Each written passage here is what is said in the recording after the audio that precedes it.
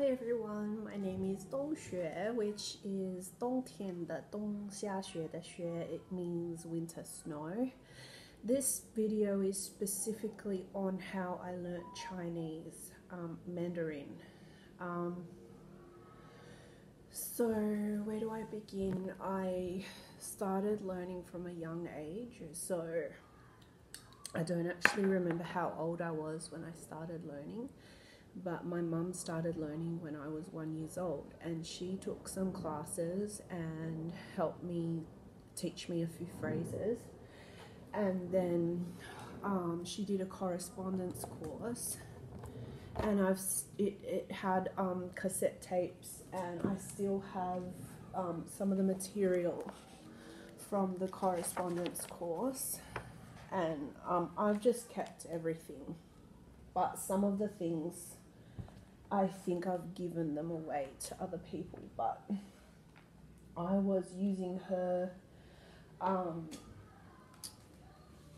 um, material um, to study by myself, and I wanted to learn the characters, so um, this is like me learning the characters.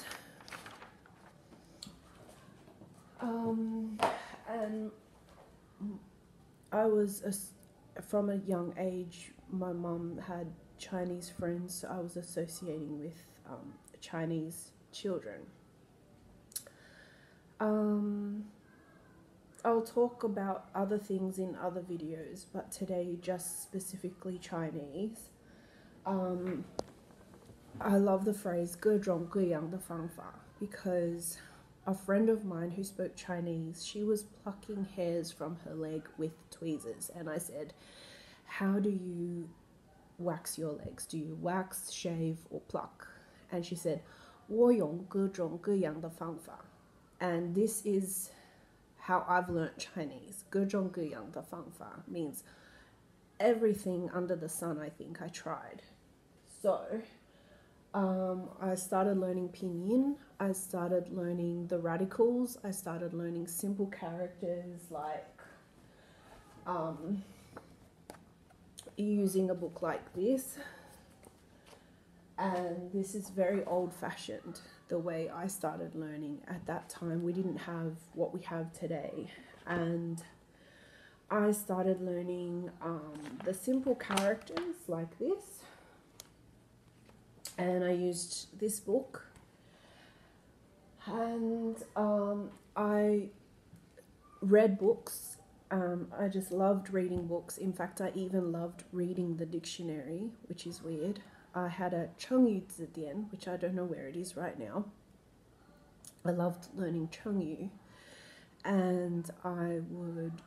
Um, um, I learnt how to look up characters in a dictionary um, without pinyin, just um, taking the character and counting how many radicals there are, and then looking up the pinyin for that character.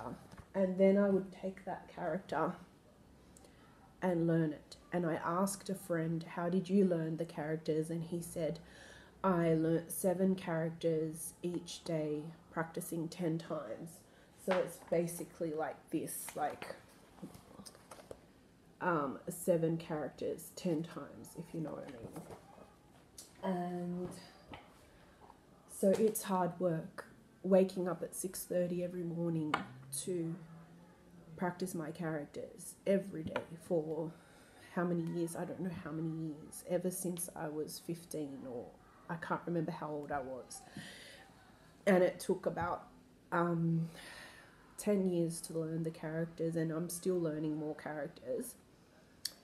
And it took about six years before I was able to understand Chinese because I didn't go to China, I learnt here. And um, before I could read and I could speak, and but I couldn't understand when people were talking fast. And also, it's um, uh, the four tips are motivation. Um, you have to be really motivated. Humility, um, not expecting perfection and not worrying about making mistakes and just laughing yourself at yourself if you make mistakes. Um, I think sense of humor is related. Um, and I forget what the fourth one is, but um, it's a long term project. You'll be learning forever. Um, then, um,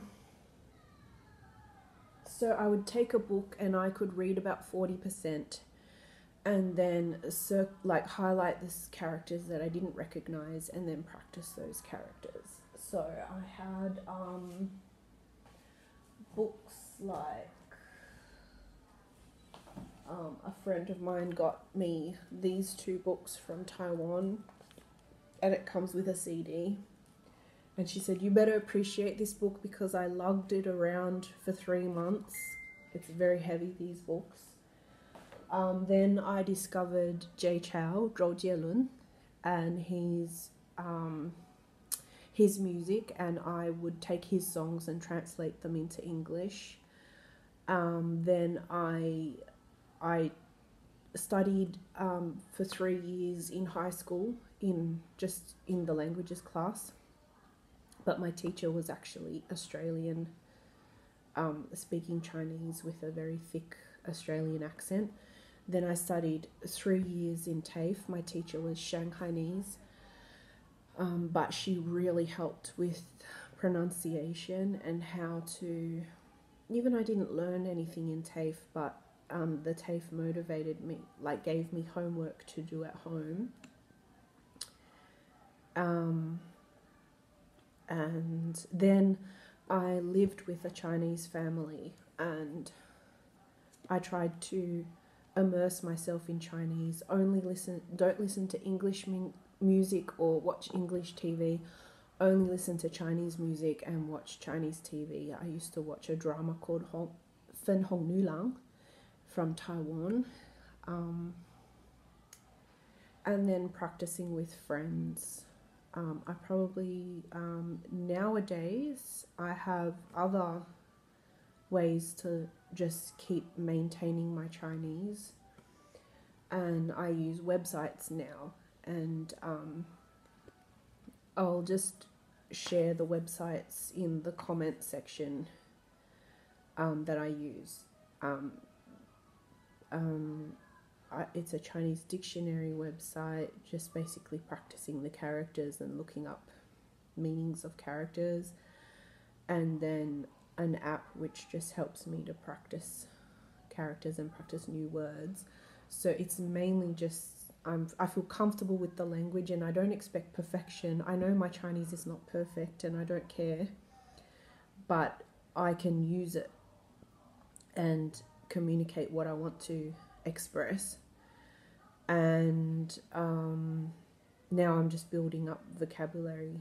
So that's all I'm doing at the moment, and still listening to Chinese music um, and using it every day. So that's, I mean, there's a lot more to it, but that's all I can think of at the moment and if I think of any other tips and explain my journey with learning other languages like Thai, I might make another video. So, thank you and see you in my next video. Bye.